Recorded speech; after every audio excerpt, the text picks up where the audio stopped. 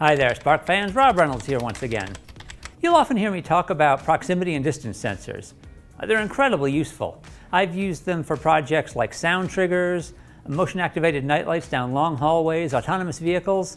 We even sent one to Mars on the underside of NASA's Ingenuity helicopter. They come in a wide variety of technologies, ranges, and resolutions, making them perfect for almost any project. Well, this week we're excited to release a brand new VCSEL sensor. Introducing the new SparkFun Qwiic Time of Flight Imager. This Qwiic TOF imager is built around the VL53L5CX from ST Electronics.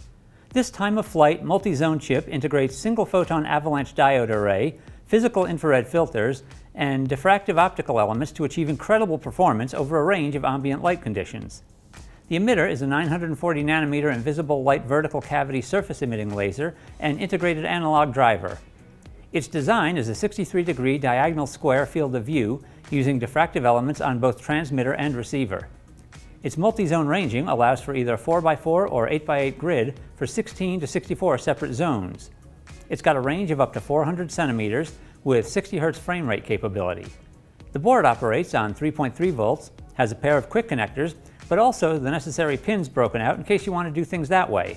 And it has jumpers to isolate the power supplies, remove pull-up resistors from the interrupt pin and the I2C bus, and disable the power LED for low power consumption. That's right, up to 64 separate measurement zones from this tiny module. Now I had planned to throw together a quick demo, maybe a self-parking car or something like that, but the more I learned about this, the more ridiculous something that simple seemed.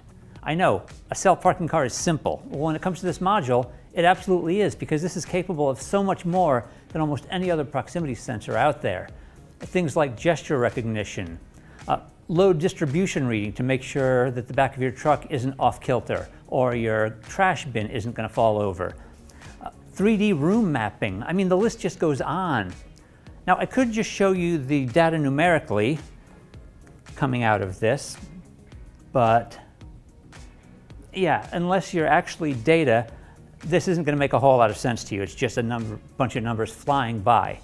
However, Nick Poole was kind enough to create a visualizer using processing that should give us a little better idea of what this is seeing.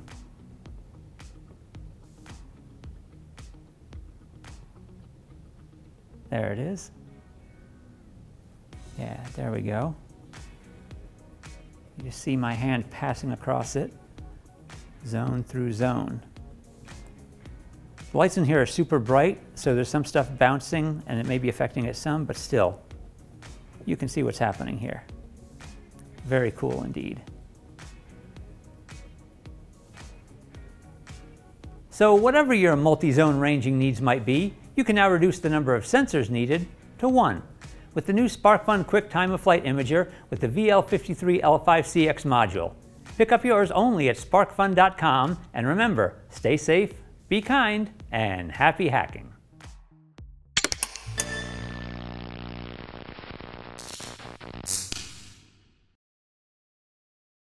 I've used them for sound triggers, for other things as well.